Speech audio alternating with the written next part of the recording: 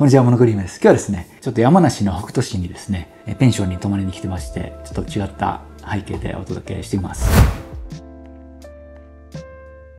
最近ちょっと動画編集にまたあの凝り始めてまして、少しずつまともに近づいていくいこうとしてるんですけど、ちょっと妻が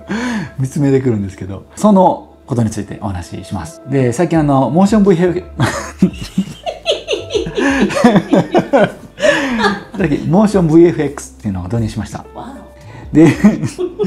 以前から知ってはいたんですけども、まあ有名だと思うんですが、プレミアとか DaVinci Resolve とかのプラグインとして、ドラッグドロップでプラグインを追加できるやつですね。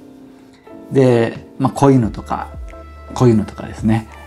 を、あの、トランジションとかですね、エフェクトを追加できるってやつなんですけど、僕最近好きなのが、 light leak って言うんですけど、燃えたような感じで、まあ感光ですね。 leak なんで、フィルムが感感光したみたいな感じで、トランジションするですとかが割と好きなんですけど、まあそういうのとかを、まあちょっと取り入れ始めました。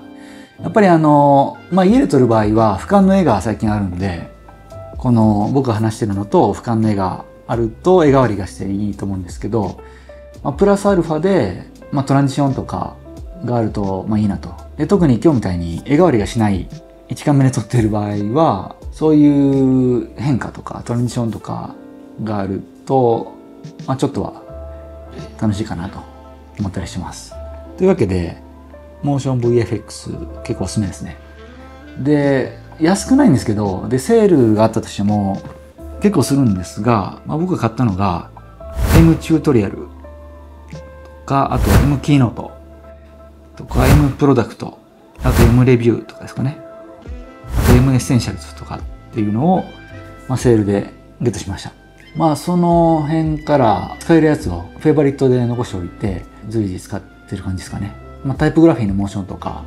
あとクリップごとのトランジションとかですかね。で、ただこれやると、まあ前から分かってたんですけど、やっぱり重いんですよね。僕 DaVinci Resolve しかほぼ使わないんで、ちょっとカクって固まったりとか、動作遅くなったりとかするんですよね。で、あの、その時にプロキシ作ればいいって話はあるんですけど、ダヴィンチ今19なんですよね。で、結構仕様が変わってきて、以前は最適化メディアっていうのだったんですけど、今はプロキシなのかな？に統合されてみたいで、ただそれも一回一回作るのめんどくさいんで、最近あの導入したものがあります。それが、 Blackmagic Proxy Generator って言いまして、それ何かっていうと、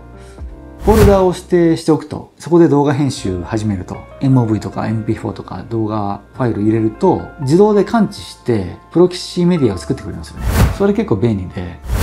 なので 4K で撮った素材を放り込むと、フル HD とかのファイルサイズの小さいプロキシメディアを勝手に作ってくれるというのがありまして、まあ、常にあの、リスナーっていうか、開始状態にしておく必要があるんですけど、それ結構便利ですね。なんでイベントリスナーみたいに常に監視してくれてて、動画ファイルが放り込まれると勝手にプロキシメディア作ってくれるという感じです。で、それやると多少軽いですかね。ダヴィンチで重いデータで、モーション VFX のモーションを追加すると、再生すると結構カクつくんで、それがあると多少マシかなっていう感じですね。というわけでそれもおすすめです。これがダヴィンチで言うと、1個前ぐらいかなから使えるような感じらしいんですけど、プロキシジェネレーターですね。というわけで、さらに動画編集も凝っていこうと思ってまして、カメラ機材とか写真とかについてですね、話しながら、なるべく面白くお届けできたらなと思っています。チャンネル登録もお待ちしています。はい。というわけで、ご視聴ありがとうございました。